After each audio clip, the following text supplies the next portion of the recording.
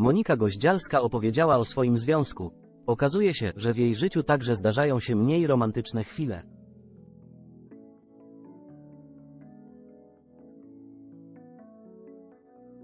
Gwiazda wspomniała o kłótniach, cichych dniach i nerwach. O Monice Goździalskiej ostatnio głośno było ze względu na konflikt z linią lotniczą.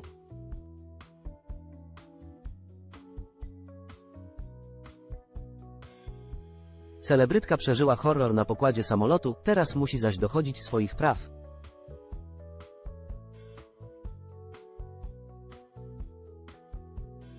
Linie lotnicze nie widzą bowiem swojej winy w tej sytuacji.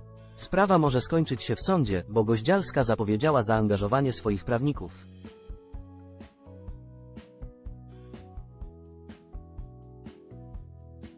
Monika Goździalska wróciła do byłego partnera, życie miłosne Moniki było skomplikowane.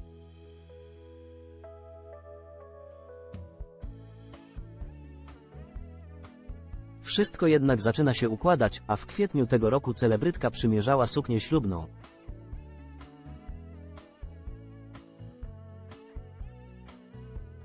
Pewne rzeczy dobiegły u mnie końca, ale bardzo się z tego cieszę, bo były najlepszą lekcją mojego życia, wytrwałości, sumienności, pokory, nerwów, it.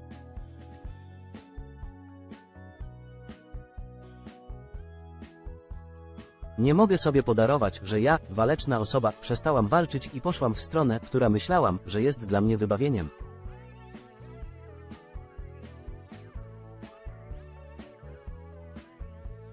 Nawias zamykający kropka. Miłość ma się tylko jedną, jedną prawdziwą, pisała w mediach społecznościowych jakiś czas temu.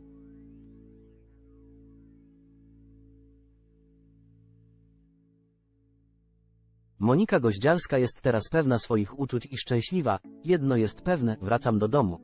Dom, który przez chwilę stał się nie do udźwignięcia, dom, którego nie rozumiałam.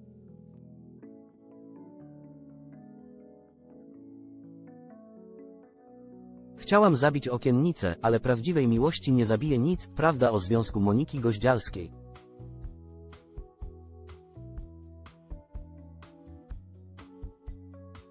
Celebrytka wyznała prawdę o swoim związku. W rozmowie z Pomponikiem wyznała, że nowa praca dla kanału Zero służy jej relacji z ukochanym.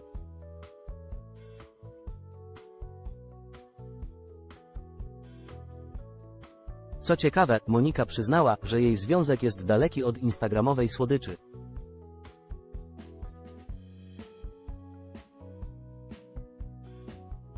Jestem zadowolona z tego, co robię i to też rozwija mój związek.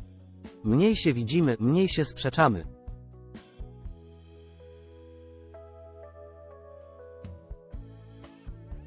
Wszyscy udają na Instagramie cudowne obrazki, fantastyczne relacje, tam jest wszystko idealne.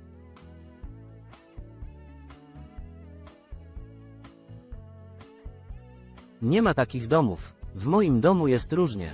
Są i nerwy, są i kłótnie, są stresy, ciche dni i różne sytuacje.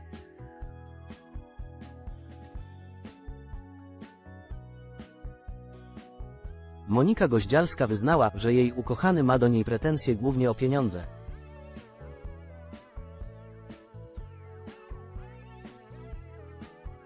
Często jest to sfera finansowa, jemu chodzi o to, że ja za dużo wydaję.